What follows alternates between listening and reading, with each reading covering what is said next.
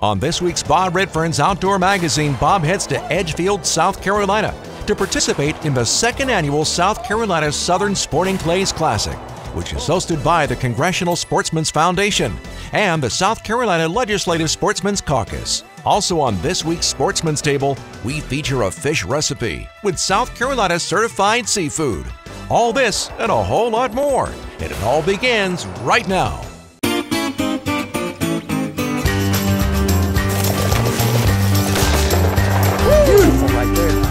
Uh, What I thought initially, he might have been a J. Fish on. Doubled up, doubled up, man.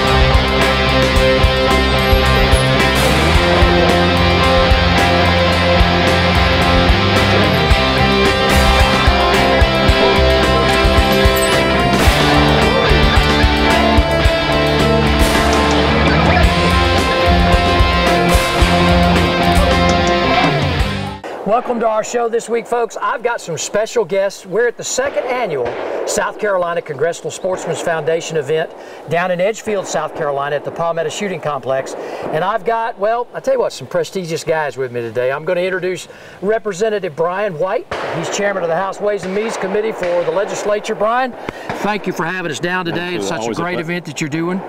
Always a pleasure, Bob. It is always a pleasure, man. I tell you, you shoot, Yeah. you're looking great today. Tell you what, you got the bow tie on. There you. Yeah, yeah. That's it. Well, speaking of the bow tie, I've got to introduce two of my great friends from, gosh, 15, 16 years ago. Kurt Newbrecht, he's the marketing director in the southeastern region for Chevrolet. Thank you. And I've got Ed Bailey over here, regional marketing director as well from southeast region in, in Chevrolet. And I tell you what, the shells over the backdrop are just. I'm telling you, they're about to drown me out here, man. Guys, thank you guys so much for what Chevrolet does and give me the high. your partnership, okay? Bob. Yeah, man. Thank you guys. Be Okay. And you know, without this guy right here, we wouldn't be able to do what we do in the outdoors. So thank you. Absolutely. And with that, you ready to pop some caps? Absolutely. I'll pull. Go ahead. right. Thank you, All man.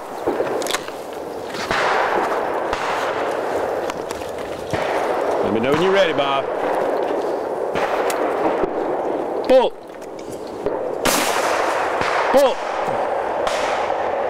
No bird. Try it again. Pull. Oh. That was a little tricky, guys. Yeah.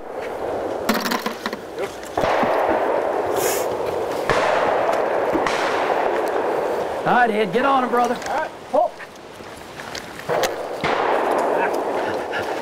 Pull.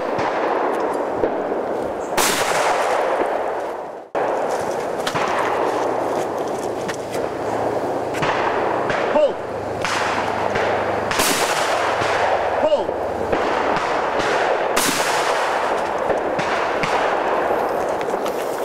All right, guys, somebody pull for me. He's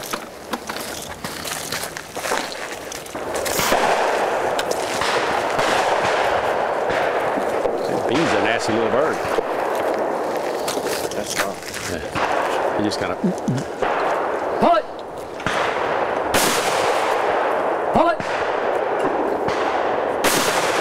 Nice, Bob. Nice. Good job, Bob. Boom. Huh?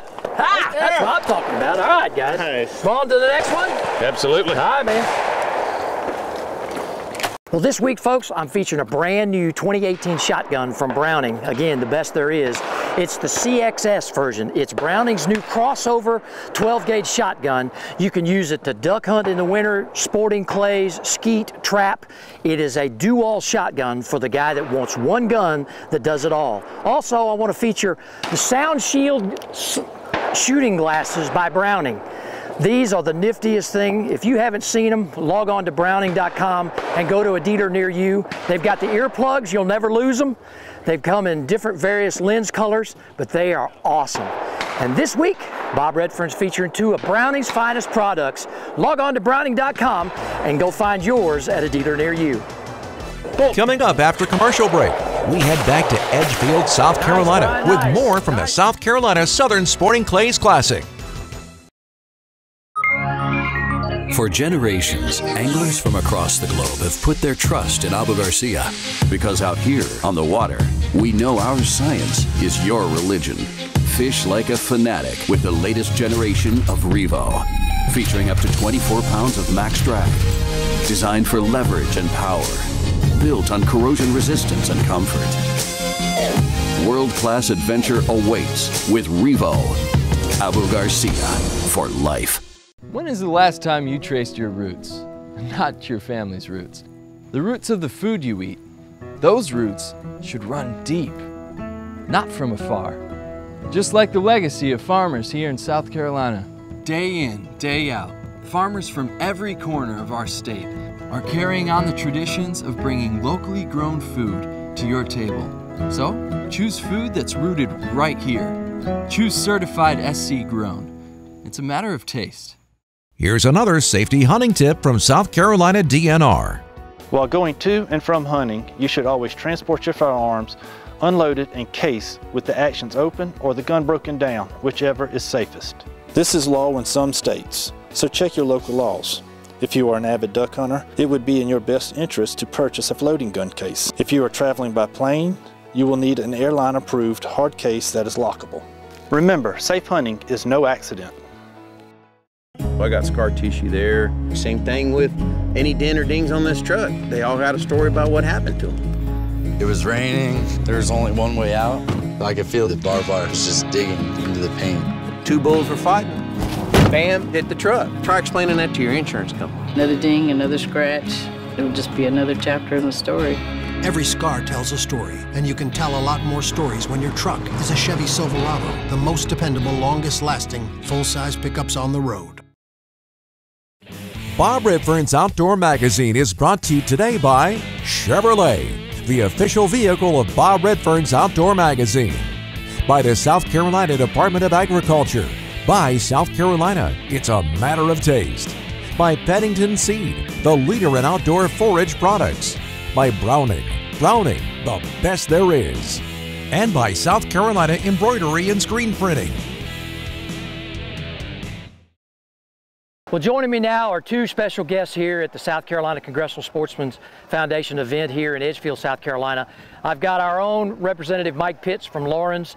He is one of the integral guys here involved in this event in South Carolina, and we're also pleased to have with us the National Congressional Sportsmen's Foundation Director, and that's Jeff Crane. I got to thank both of you guys for all that you do because the great things that both of you all do, both Mike, you at the state, and and you, Jeff, at the federal level, allow us to do what we enjoy in the outdoors. And you know, I will I will ask you first, Jeff, how important are events like this that Mike and all the guys put on and Brian to the National National Foundation? Well, the National Foundation is the U.S. Congress. We do things in Washington like these kinds of shoots, but it's really important for us to get out, visit with our friends at the state level, because so many of the wildlife management decisions are actually made at the state level. So it's key to have events like this, and we're, we're honored to be here at the National Wild Turkey Federation facility with my good friend Mike Pitts and Brian White and the folks here at the South Carolina State Sportsman's Caucus. Well, Mike, I, would like to ask you. I, I know this is the second event here. Last year we had barely 100 shooters. Now this year it's 180. You're going to have close to probably 250 guests. You guys have done a great job putting this event together to support all the things that we do here in the great state. Well, that speaks volumes for the state itself and the amount of support, not just that uh, legislators and outdoorsmen have in the state, but our NGOs, uh, uh, the people who had not in the past been associated with the outdoors came to the event last year and word of mouth it spread quickly and people really truly enjoy it which is good because now we have individuals hunting and fishing and getting involved that weren't in the past. Well and, and i would say to both you guys uh, this is such a great event okay and, and I've been at the national level in events right. as well in October up at Richard Childress. Right. This, the things that you guys are able to do and the people that you bring, that's so key to, to not fundraising, but just the awareness that you guys bring. Yes, and, and that is a key point. This is about awareness. This is about bringing our partners together, meeting our legislators so that they know they've got allies in Washington, they've got allies in the states like South Carolina and across the country, and that's critical. Well, I got to thank you both. Mike, How'd you shoot today, my friend? I shot great. See, you, got, I, you like me, you got them all.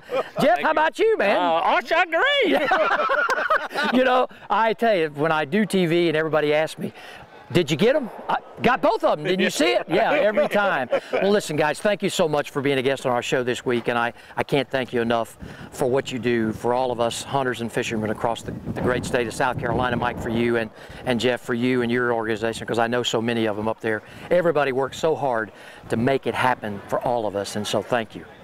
Chevrolet presents Bob's Top 16 Outdoor Destination of the Week, a look at the best hunting and fishing destinations in the United States. Each week, Chevrolet will feature a new hunting or fishing destination in conjunction with Bob Redfern's Outdoor Magazine and Bob's Top 16. Sebago Lake is deep, averaging 100 feet, clear, and because it's the water supply for the city of Portland, Maine, it's a popular summer spot for vacationers. But the 28,000 acre lake also boasts some of the best fishing in Maine for good average sized largemouth and smallmouth bass. Bass tournaments held on Sebago have resulted in hundreds of 2 to 3 pound smallmouths and largemouths caught. Smallmouths over 5 pounds and largemouths over 7 pounds are taken annually too. Because Sebago is so deep and clear, it takes a while for the lake to warm, so the best spring fishing doesn't get underway until mid May. Through mid-June, anglers can enjoy good spawning bass fishing, with smallmouths typically found on small gravel bars in coves and on sheltered points, while largemouths are more weed-oriented in coves and creek mouth regions.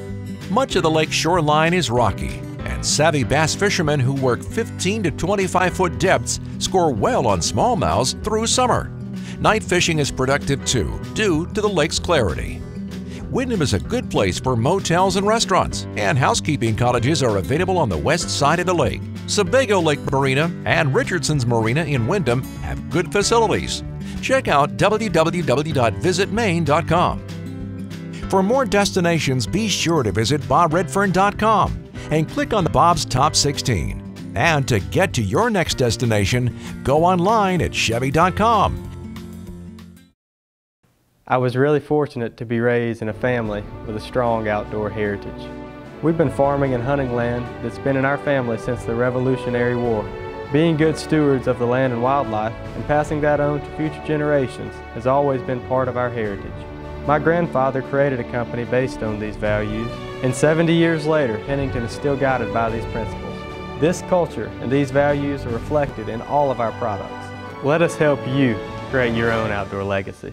For 50 years, Ranger has led the way in innovative, high performance designs, and we're raising the bar again with a bold new flagship line the Ranger Z Comanche L Series. These rigs are custom crafted with a passion for perfection and loaded with more features and advantages to deliver domination at every level. The next generation Ranger L Series. Celebrate a legacy 50 years in the making. The Old 96 District in South Carolina is nestled in the western corner of the state and is a haven for fishing enthusiasts. South Carolina's freshwater coastline wraps around 84,000 acres of water, including Lakes Greenwood, Russell, and Thurmond.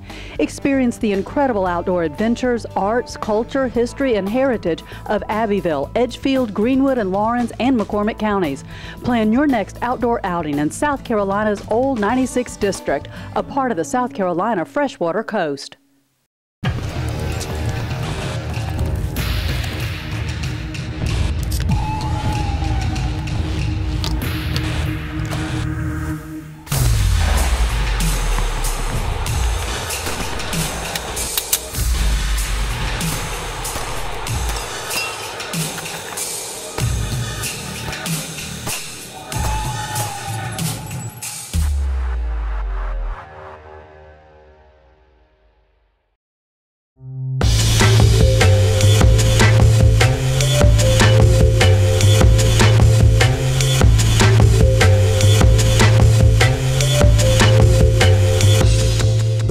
Sportsman's Table is brought to you by the South Carolina Department of Agriculture.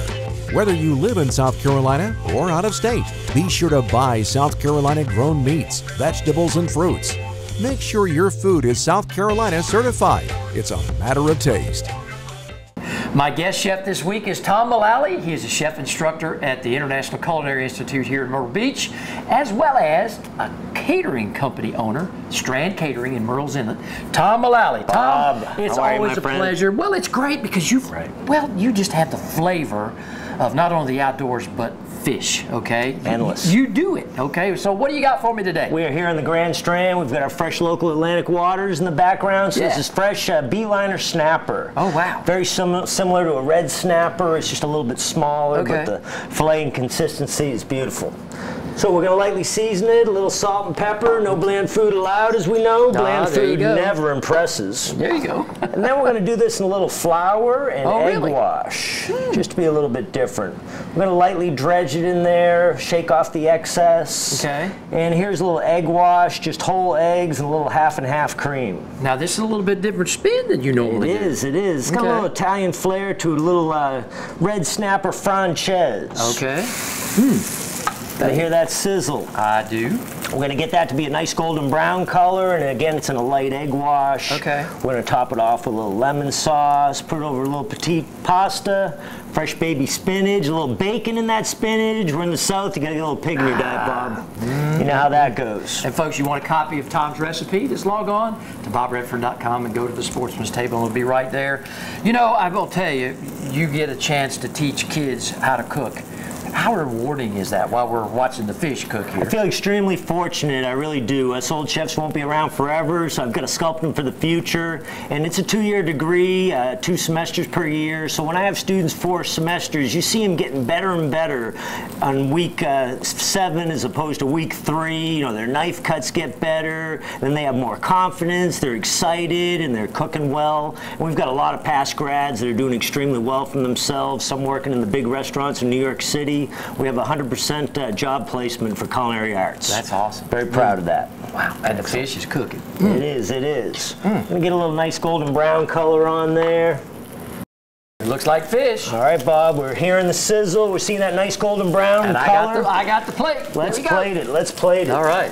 All right, we've got a little uh, petite pasta here. Okay. Now, what does that mean? These are uh, small little uh, round balls of pasta. You know, pasta comes in all sorts Yeah. of different shapes and Okay. sizes. All right. We're gonna put a little fresh baby spinach down there as well. Oh, yeah. And of course, Bob, we're in the uh, south, so we have to get a little pig in our diet. Got a You can little bacon. Yeah, you can see a Mm. little bacon in there. I don't know many people that dislike bacon here in the south. No, sir. Certified SC grown. There you go. Okay, again, this is our local snapper. It's in a uh, light egg batter. We're gonna place that on top. That's a different look. That's awesome. Isn't that nice? And it's nice and light. It's not heavy at all, and that's what I mm. like about it. We're gonna garnish with some more vegetables. This one is called a bâtonnet cut. Teach that knife cutting class at the college. There you go. This is a bâtonnet, so Jerry the cameraman, he's grading me right now, I can tell. Listen, everybody's grading you. Good stuff. Odd numbers are always best for eye appeal. Uh-huh. We got some uh, threes and twos in there. Threes and fives, always the way to go. We got all that good Look stuff. So, excellent, excellent. Let's put it all together. Okay. All right. Now we have to top it off with a little fresh squeezed lemon. Look at that. There we go. Lemon always goes with our uh, fish. So here we have it. We have a seared uh, beeliner snapper from our local Atlantic waters. It's in a light uh, egg batter over a petite toasted pasta, a little baby spinach, bacon, and some fresh vegetables. Tom, as always, thank you for being our Thank guest you. chef today. And folks, listen, if you'd like more great menu items just like this, log on to certifiedscgrown.com, see what's fresh on your menu for yourself. And we'll be right back here again next week on another great recipe on the Sportsman's Table. We'll see you then. To find out more information on food that's fresher and tastier, go online at certifiedscgrown.com. Buy certified South Carolina grown products. It's a matter of taste. I got scar tissue there. Same thing with any dent or dings on this truck. They all got a story about what happened to them. It was raining. There was only one way out. I could feel the barbed wire was just digging into the paint. Two bulls were fighting. bam, hit the truck. Try explaining that to your insurance company. Another ding, another scratch. It'll just be another chapter in the story. Every scar tells a story, and you can tell a lot more stories when your truck is a Chevy Silverado, the most dependable, longest lasting, full size pickups on the road. Southern Woods Plantation. The name itself conjures up images of a time gone by. A time of towering pines, mule drawn wagons, and covey after covey of bobwhite quail. Southern Woods Plantation has been chosen as one of the top six hunting destinations in America. They offer great hunting, comfortable lodging, wonderful food, and world class dogs. Southern Woods Plantation, where the past can still be experienced today. I was really fortunate to be raised in a family with a strong outdoor heritage. We've been farming and hunting land that's been in our family since the Revolutionary War. Being good stewards of the land and wildlife and passing that on to future generations has always been part of our heritage. My grandfather created a company based on these values, and 70 years later, Pennington is still guided by these principles. This culture and these values are reflected in all of our products. Let us help you create your own outdoor legacy. New Berkley Fireline Ultra 8. It's rounder, smoother, and four times more abrasion resistant than original Fireline. That means you catch more fish. Ultra 8 features 8 braided strand, heated to molecularly bind individual fibers. It lays well on the spool and is prior to going through your guide. Expect 10% longer casts and superb knot strength. New Fireline Ultra 8, and you thought Fireline couldn't get any better. Bob Redfern's Outdoor Magazine, brought to you today by the South Carolina Department of Natural Resources. Life's just better outdoors. By Berkley, catch more fish with Berkley Fishing Products. By Ranger Boats, still building legends one at a time. By Browning Ammunition, Browning, the best there is. And by Southern Woods Plantation, a place where the grandeur of times past can still be experienced today. Well, folks, I want to talk to the Congressional Sportsmen's Foundation, and not a better guy that I know to talk about it with his involvement both at the federal level and here in South Carolina is Brian White from Anderson. Brian, I, I just tell you, you guys do so much good things congressional level, both at the state and, and nationally. How important is this to what we like to do in the outdoors? And I know you love it as well. Oh, I do. And uh, growing up hunting and fishing and, and just in the great outdoors, you know, I grew up in a anti-Wi-Fi world. We just didn't have it, and, and to that point, uh, still try to get anti with my kids and everything to get them outside and, and the youth that are out here today. And shooting at this complex today, Wild Turkey Federation's done a phenomenal job with it. Uh, we got several groups of kids out here with their fathers and shooting teams, and it's really important uh, to get kids involved in the shooting sports. And that's something that we have tried to do on the uh, Congressional Sportsmen's Foundation side of the world is to get the youth involved you're one generation away from being extinct, and we definitely don't want to be extinct, extinct in the great outdoors. Uh, what we're doing with hunting and fishing and taking game properly. Public access is so huge. And the Wild Turkey Federation, uh, other groups, do a lot of conservation efforts that people really don't realize what they do. And it's good to have that out here, and the sponsors that we have uh, come out and do it, like Chevrolet, like the Brownings, like yourself, that just help promote what we're trying to, to basically preserve uh, and encourage folks to get out and do. Well, the great thing is this is the second annual event you guys have hosted. It is. I, have been here every year, and it just keeps getting better. There's 180 shooters, over 250 guests will join us for dinner tonight. I, I just got to thank you for all the hard work well, that you guys have done, not only in the legislature to promote the outdoors, but what you do for the citizens of this great state. And Bob, we can't do it just like you and your shows without sponsors, and we got a lot of good sponsors out here. And it's something, and you'll see it. I hope you you uh, film at dinner. I know you had some earlier. The amount of youth, uh, male, female. I mean, all we, we got it all here, and that's what it's all about. And and it's not Republican and Democrat. It's about the great outdoors. It's about God's creation, know, and, and that's what it's all about. And uh, if you love the great outdoors like you do and like I do, uh, then we'll just keep on keeping on make sure we leave it better than we found it. Well, have I told you how good you look behind that Browning today? I tell you what, this Browning makes me look good. Your I tell you what. I tell you what, it's hit targets that I never could. So uh, it is a great, great gun. Well, I think you're up next. Here's next. So right. you, you, we got to bust these targets. Absolutely. I, I gotta, Let's do it. I got to.